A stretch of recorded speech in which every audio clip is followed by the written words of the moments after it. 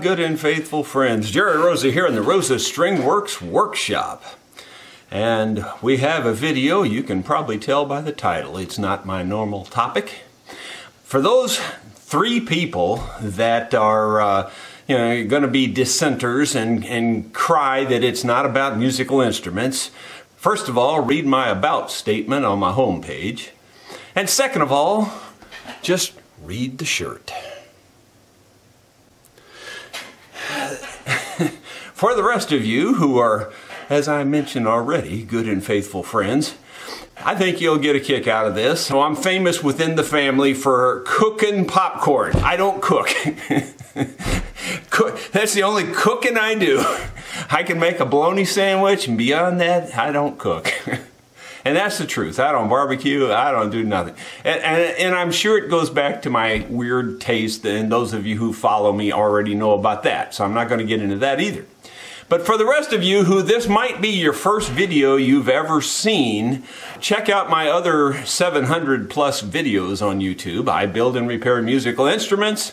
I also have a fairly large handful of machinery videos where I'm building and repairing machinery. In other words, I uh, modified a backhoe to fit on my Bobcat fairly recently. I made a dump trailer, uh, a grapple bucket, a log splitter, uh, for the front of my Bobcat, and I built my own bandsaw. So there's all kinds of things out there, and there's more than that too. A hydraulic brush hog, so check out those videos if you're not interested in the um, musical instruments. But apparently you are interested in popcorn. So uh, without further ado, let's just say my uh, grandkids kind of inspired this one. Hello my friends, Jerry Rosa here in the Rosa String Works kitchen.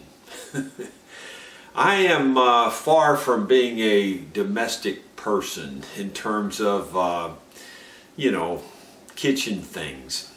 Yeah, it's just not my thing. With my weird taste buds, food just isn't all that terribly important to me.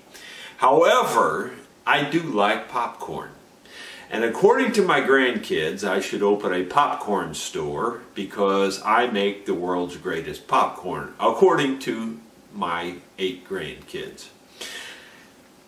I'm going to show you how I make my popcorn. Some of you will disagree and think yours is better, but you should at least give this a try if you've never tried it because you might be surprised. It's pretty good. I just use this air popper. It's a cheap little outfit that you can get at you know Walmart or some other box store. And I don't know, this one's pretty old now. It's probably 20 years old. You can measure out your popcorn here, how much you want to make, and then you just pour it in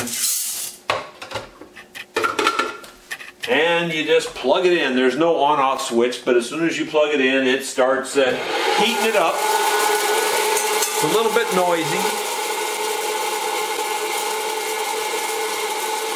And yes, I realize that, you know, popping it in a pan with grease and butter and those kinds of things is another way to do it. And I did it that way for years also. But this works really well. The reason I have it tilted back is to keep the kernels from just accidentally falling out. It's been just about a minute and the popcorn is starting to pop. Once it starts to pop like that, down flat so the popcorn can come out easier.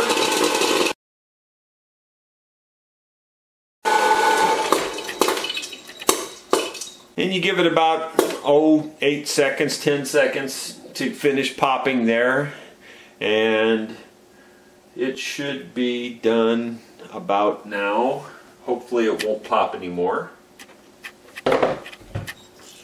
First thing I just wanted to point out is I'm always using white popcorn. I never use the yellow popcorn.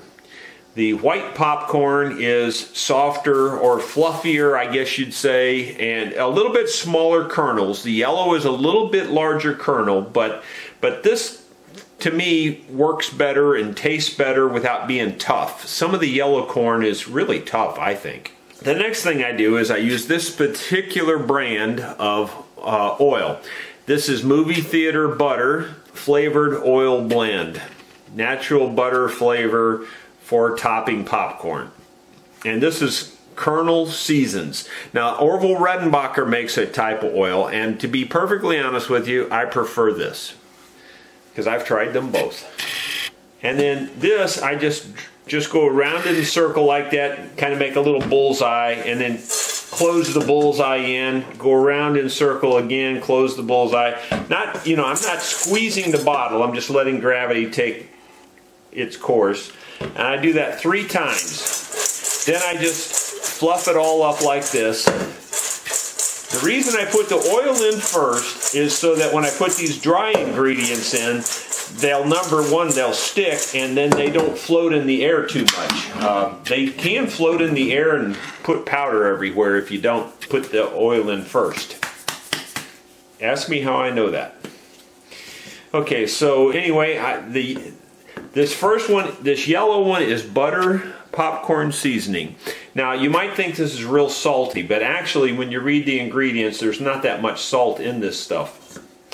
So I, I, I flip it around like that. I, I put this on a little bit heavier than the other ingredients. I do it like three times again. And then I just fluff it around.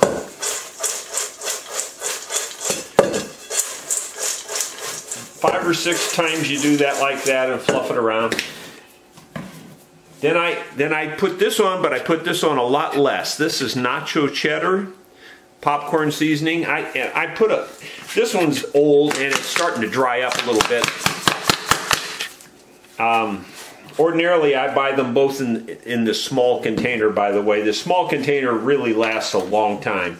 So this has been around a long time actually. Now this I don't put on as heavy.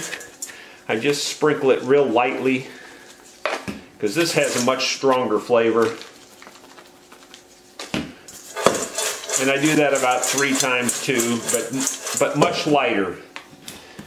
And then the final secret ingredient that really gives the popcorn a cool flavor is I'm using, in this case, Freddy's um, steak burger and fry seasoning. It's just a seasoning salt. Now this is very potent. You don't put very much of this on. At least with my very sensitive taste buds, I don't put very much of this on. In fact, I don't add salt to anything anymore. This is the only thing I add salt to is popcorn. And I do this very lightly. In fact, this has three large holes. I cover two of these holes and just barely let the, the salt come out of the one hole. And I do it light like that.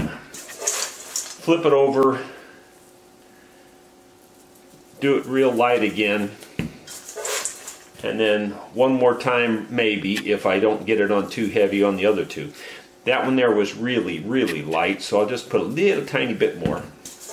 And then I just shake it all up really good.